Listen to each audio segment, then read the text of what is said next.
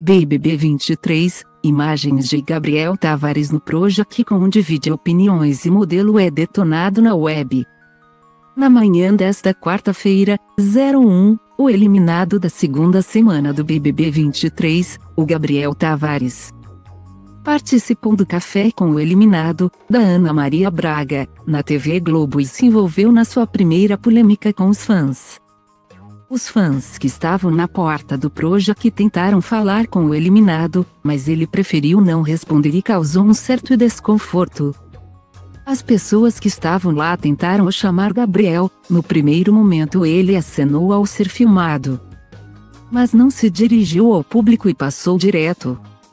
Após o vídeo repercutir, a cena dividiu opiniões. Os fãs da Ito vai ver é um perfil de fofoca, fã demais. Disparou cara aí mané, que povo insuportável. O cara já saiu, vocês conseguiram o que queriam. Tiraram ele do jogo. Não deixam o cara em paz, se louco, comentou outro. Gente. Como Manuel não entrou pela casa de vidro no lugar desse bosta PQP eu tô indignado até agora.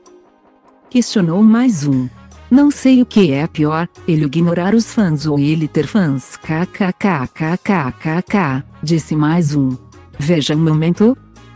Na noite da última terça-feira, 31, o modelo assistiu após a sua eliminação algumas cenas dentro da casa e se surpreendeu ao saber que as suas falas sobre a aparência de Bruno Nogueira repercutiram de forma negativa.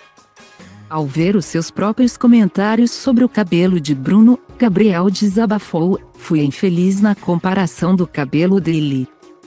Mas a gente estava falando do gel. Agora, eu não tenho nem o que falar.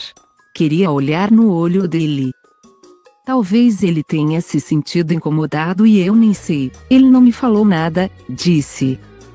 Fique por dentro de tudo que está rolando no mundo dos famosos.